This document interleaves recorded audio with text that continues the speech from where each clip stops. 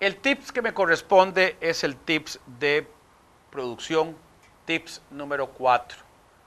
Recuerdo que estamos creando una empresa. Este tips número 4 realmente es muy corto porque es posiblemente donde usted es experto, es el área de producción.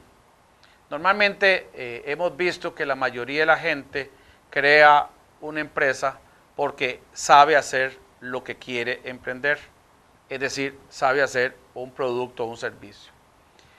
Mis pequeñas recomendaciones, si usted va a producir algo que requiere mano de obra, maquinaria y un proceso de transformación, como ejemplo la comida, podría estar buscando lugares donde le maquilen y así usted no invierte en maquinaria temporalmente hasta que su idea esté en el mercado y pueda generar un poquito más de dinero. Hace tiempos usted tenía que tener toda la línea de producción. Hoy nos damos cuenta que uno puede buscar alguna empresa y le dice, me gustaría que me produjera esto con mi gusto, con mi etiqueta, con mi empaque y yo manejo la comercialización. ¿Por qué? Porque tener una fábrica eh, cuesta bastante dinero.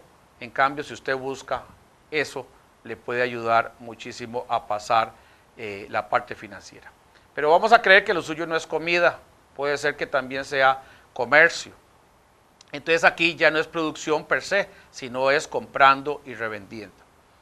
Posiblemente usted es muy experto en esta área y sabe a dónde conseguir.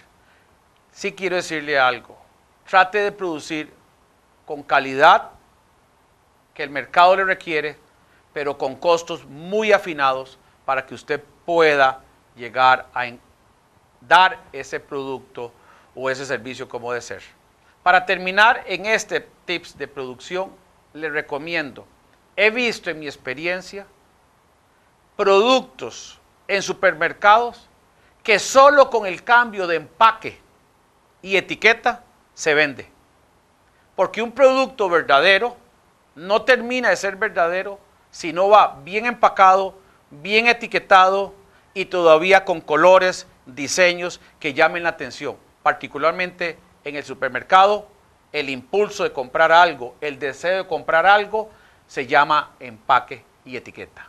Estos son pequeños tips que le digo, posiblemente hay una infinidad de productos y de variedad, pero por lo menos quiero decirle que es un tip corto con algunas cositas para que usted le ponga atención. ¿Por qué? la persona que le va a comprar el producto va a ver ese producto con algunas cualidades y características para poderlo agarrar y estar más seguro. Muchas gracias.